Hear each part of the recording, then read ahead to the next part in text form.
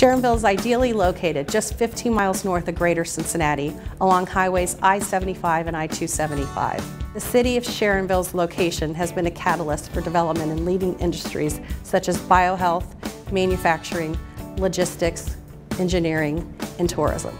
Our economy is strong and growing due to fiscal responsibility, progressive leadership, and a diverse business economy. I'm most proud of the fact that what I like to call is our fiscal sanity. Uh, you know, we have really committed ourselves as an administration and in teamwork with our council uh, to make sure that we're not spending any more money than what we're bringing in on any given year. One of our biggest accomplishments in the last several years is that moving into 2017, the general fund will be debt-free. This will allow us to consider a lot of uh, capital projects and maintain a uh, balanced budget.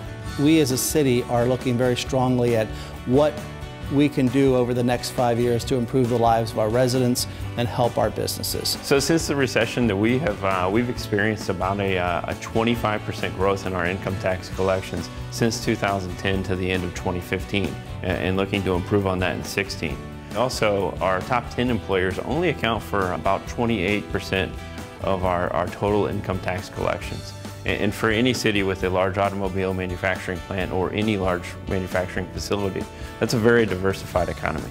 One of the big projects that I expect we will start on is the building of a new Sharonville police station. For many years, our police department have been struggling with accommodations that don't fit modern policing. You might not know that the city uh, relies uh, for general fund and fire resources about 90% on the income taxes that we collect.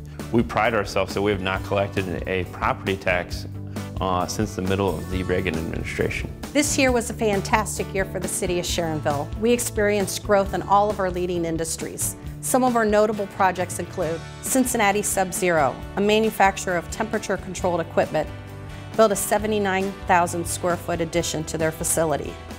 This expansion will allow them to retain 375 employees and hire an additional 124 employees. Club Chef, a Castellini company, one of the largest regional processors of fresh foods, announced they would expand their operations to Sharonville, creating 375 new jobs. Standard Aero, an aerospace firm, announced a $10 million expansion. They will add 120 new jobs. Cuttall Products underwent an expansion this year. They intend to create 36 new jobs and retain 195.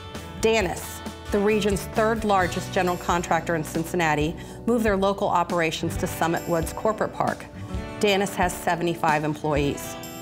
Another new business at Summit Woods is United Healthcare. They relocated their regional operations, bringing 200 jobs to Sharonville. In addition, Kentucky and Clean Fuels broke ground on the region's first public compressed natural gas facility in Commerce Park. We look at ourselves as a complement to the Duke Energy Convention Center. We're all in the same region, we're all part of Hamilton County, and our goal is to attract conventions and visitors into the county, into the region. Uh, the Duke Energy Convention Center does a great job with national conventions uh, like the NAACP this year.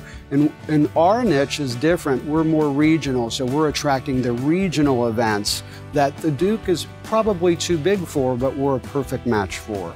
This year was another record year of events.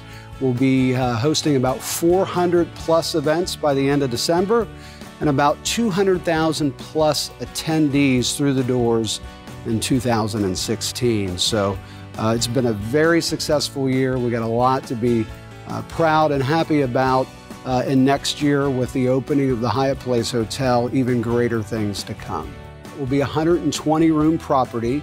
It's going to be connected directly to our facility to allow ease of access for our attendees to come directly to their event without going outside, walking a couple city blocks. So we're taking the great things that we have done and accomplished in the last five years, like the convention center, Princeton School campus, all the aesthetic improvements that we've created, and we're continuing to improve to make the experience for our guests even better. We're going to finish Chester Road, uh, the infrastructure that we started working on already there. Uh, we're going to get it done all the way up to Kemper Road um, so that we can be that Northern Lights district that we envision, that place that attracts folks from around our region to our convention center, to the wonderful Princeton complex that exists on that street, and to all of our hotels, lodging, and hopefully attract other restaurants to the ones that are already great restaurants that already exist there in our Chester Road corridor, our Northern Lights district by investing in economic development programs to bring jobs and businesses into Sharonville, investing in leisure opportunities and investing in the community as a whole, we're going to ensure that we have a great place for the next generation of Sharonville residents to live, the next generation of uh, folks to work. The City of Sharonville is dedicated to building a vibrant and thriving economy. We look forward to the opportunity to work with you and your business.